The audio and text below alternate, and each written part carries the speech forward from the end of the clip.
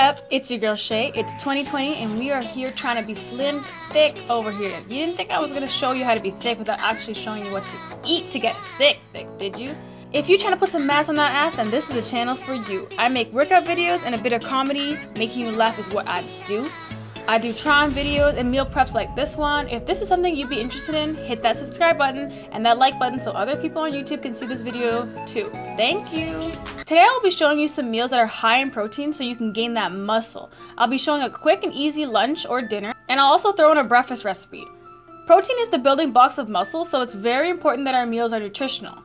We're going to be making turkey chili today. You can screenshot the ingredient list or I have everything written down in the description box below. Ground turkey, green onions, some spicy guacamole, spicy salsa, because you know I like things spicy, some chili seasonings, diced tomatoes, tomato sauce, and beans. And by the way, cheese is optional. I know y'all dairy free up in here. We're gonna prepare our pan to cook the turkey. I use a little bit of cooking oil and coat the pan. I'm using sunflower oil, no need to copy me.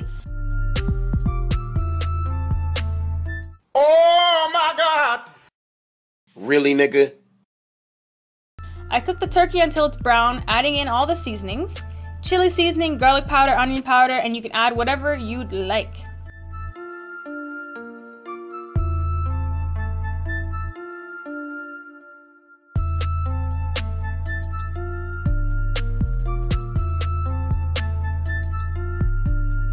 This is what it would look like. I turn it off and I let it finish cooking and then we're going to start on the base of the chili.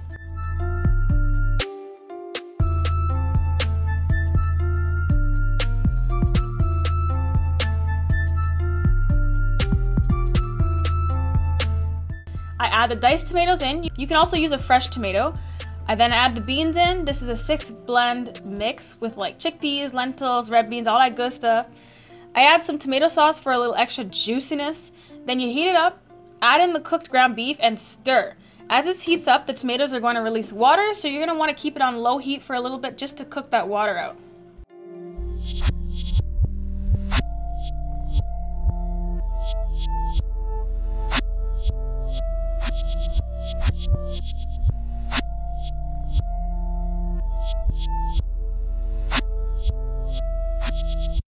I'm gonna show you how to cook my favorite sweet potatoes. These are like cracked me. Can I say crack on YouTube? I don't. Well, well whatever.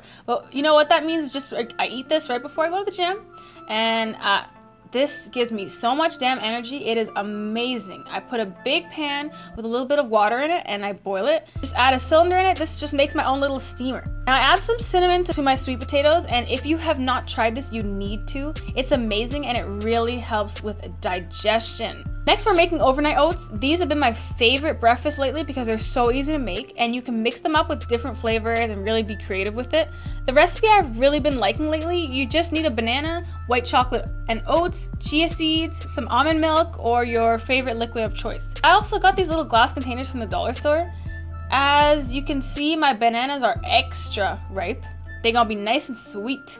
If you want to see a video on some different overnight oats recipe, like this video so I know and comment down below. This video was requested by a subscriber, so thank you for that. If you have anything you want to see me record, let me know down below. Hope you subscribe and hope to see you in the next video. Bye bye!